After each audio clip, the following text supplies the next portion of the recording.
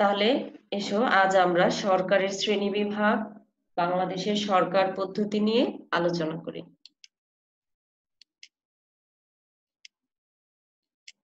এই পাঠ শেষে আমরা সরকার পদ্ধতির ধরন সংক্ষেপে বর্ণনা করতে পারব, বাংলাদেশের সরকার পদ্ধতি বিশ্লেষণ করতে পারব। একজন ভালো নাগরিক হিসাবে দায়িত্বশীল নাগরিক হতে হলে একটা দেশের সরকার পদ্ধতি সম্পর্কে জানা খুবই গুরুত্বপূর্ণ। বিজিএসটাকে অনেকেই অবহেলা করে, ভালোভাবে পড়তে চায় না। কিন্তু আসলে যখন তুমি এটা সম্পর্কে ভালো জ্ঞান লাভ করবে দেখবে তোমার নিজের কাছেই খুব ভালো লাগছে।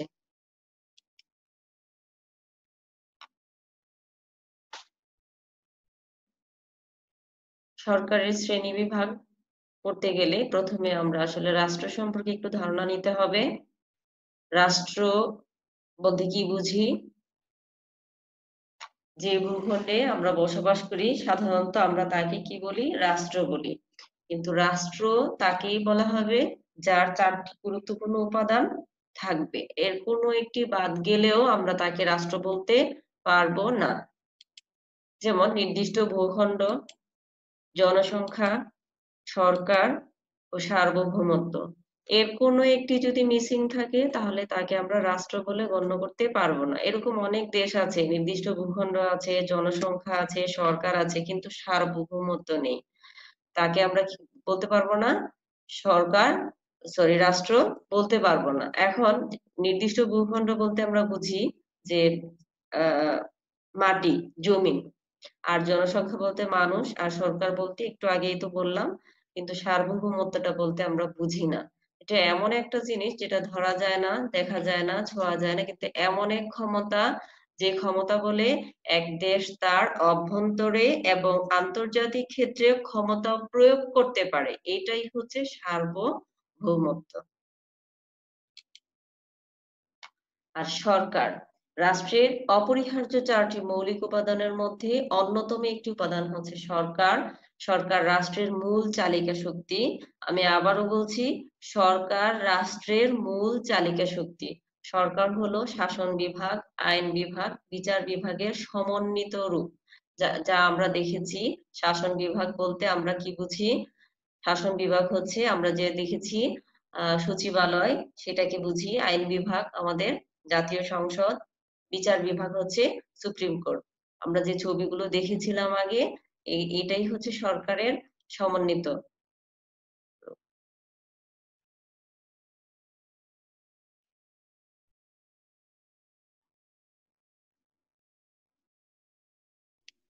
তাহলে সরকার বলতে আমার মনে হয় আমরা বুঝেছি, সরকার বলতে কি বুঝি? তাহলে এবার সরকারের শ্রেণি বিভাগটা আমরা দেখি।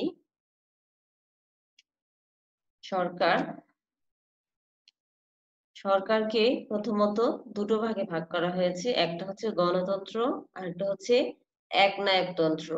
গণতন্ত্রের সার্বভৌম ক্ষমতা জনগণের হাতে ন্যস্ত থাকে এবং জনগণই সকল ক্ষমতার উৎস।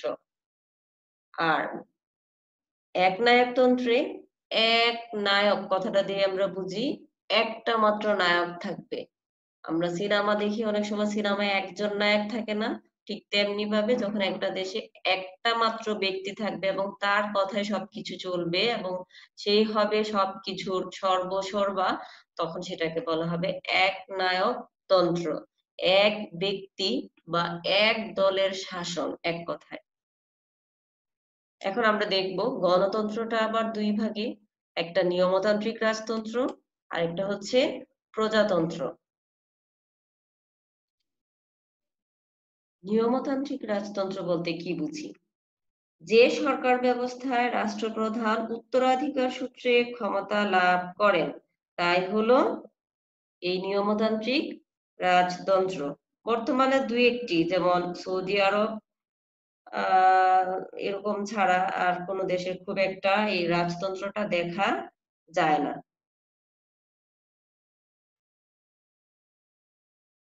প্রজাতন্ত্র প্রজাতন্ত্র বলতে বোঝায় যে জনগণের ভোটে যে সরকারের রাষ্ট্রপ্রধান নির্বাচিত হন, সে সরকার হলো প্রজাতান্ত্রিক সরকার। এই ধরনের সরকার ব্যবস্থাটাকে বলা হয় প্রজাতন্ত্র।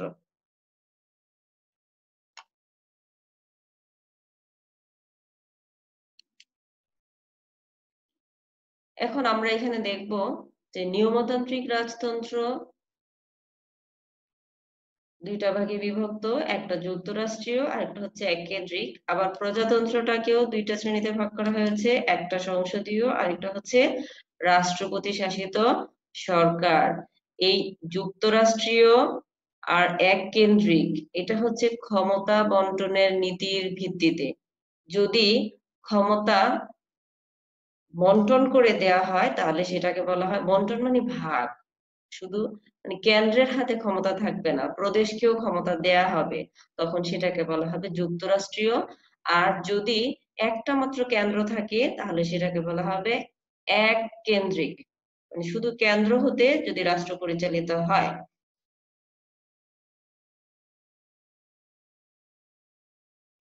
আর প্রজাতন্ত্র যে দুইটা ভাগে বিভক্ত, সংসদীয় সরকার আর রাষ্ট্রপতি শাসিত সরকার, এই সংসদীয় সরকারটা বলতে আমরা কি বুঝি?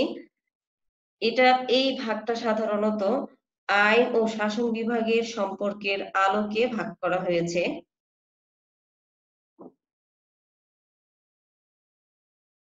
এখানে যদি শাসন বিভাগ এবং আইন বিভাগের সম্পর্কটা যদি এরকম হয় যে যদি শাসন বিভাগ আইন বিভাগের উপর নির্ভরশীল থাকে, অর্থাৎ সংসদের কাছে দায়ী থাকে, তখন সেটাকে বলা হবে সংসদীয় পদ্ধতির সরকার।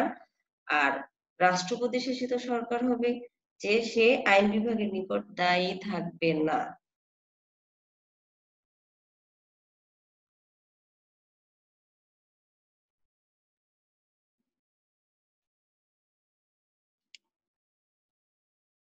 এখানে সংসদীয় সরকারও এককেন্দ্রিক এবং যুক্তরাষ্ট্রীয় এই দুইটা ভাগে বিভক্ত।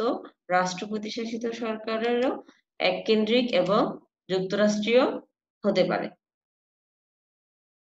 তাহলে আমার মনে হয় আমরা এই সরকারের শ্রেণি বিভাগটা বুঝেছি। এখানে দেখো আমি কয়েকটা বক্স একটু গ্রিন কালার করেছি। এই গ্রিন কালার করার অর্থ হচ্ছে আমাদের দেশের সরকার ব্যবস্থাটা মূলত এই এই ধাপে এসেছে। গণতন্ত্র, প্রজাতান্ত্রিক সরকার, সংসদীয় পদ্ধতির সরকার এবং আমাদের এক কেন্দ্রিক সরকার ব্যবস্থা।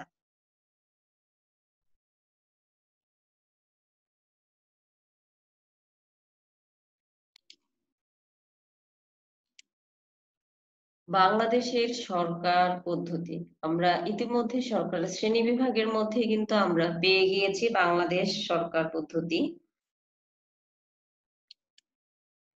বাংলাদেশ প্রথমত একটি গণতান্ত্রিক রাষ্ট্র। এই রাষ্ট্রে প্রজাতান্ত্রিক সরকার বিদ্যমান। এবং এটা একটা এক কেন্দ্রিক রাষ্ট্র। অর্থাৎ একটি কেন্দ্র থেকেই শাসন কার্য পরিচালিত হয়। এতে সংসদীয় অর্থাৎ মন্ত্রী পরিষদ শাসিত সরকার ব্যবস্থা বিদ্যমান। তবে এটা সংসদীয় পদ্ধতির বা মন্ত্রী পরিষদ শাসিত সরকার হলেও এখানে নিয়মতান্ত্রিক একজন রাষ্ট্রপতি থাকে, যিনি আসলে খুব একটা ক্ষমতা তার থাকে না। শুধু নিয়মের জন্য রাষ্ট্রপ্রধান হিসেবে একজন রাষ্ট্রপতি থাকেন।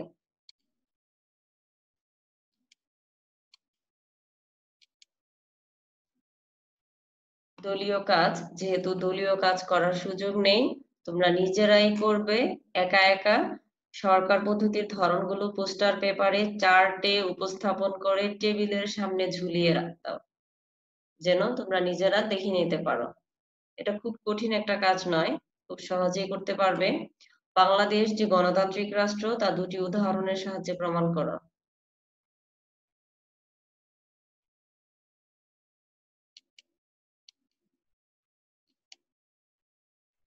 মূল্যায়ন এই প্রশ্নের উত্তরগুলো খাতায় লিখবে। খাতায় লিখে কমেন্টে শেয়ার করবে। ঠিক আছে? কমেন্ট বক্সে দিয়ে দিবে, আমি দেখে দিব কার কোন, কয়টা হয়েছে। বাড়ির কাজ, এটা একটা সৃজনশীল প্রশ্নের গ অথবা ঘয়ের আসতে পারে। সৃজনশীলের জন্য খুবই গুরুত্বপূর্ণ। এবং এই প্রশ্নটা অনেক সময় কনফিউজিং হয়, তোমরা পারো না। অনেক সময় এটা বিভিন্ন ভাবে আসতে পারে, চার্ট আকারে দিয়ে দিতে পারে, সরকারের শ্রেণি বিভাগটা, দেওয়ার পরে ওখানে বলতে পারে যে এখানে বাংলাদেশের ক্ষেত্রে কোন ধরনের সরকার ব্যবস্থা প্রযোজ্য? যদি আমি উদ্দীপক উল্লেখ করিনি, কিন্তু যে ধরনের সরকার ব্যবস্থা প্রযোজ্য, সেটা সম্পর্কে ব্যাখ্যা করবে।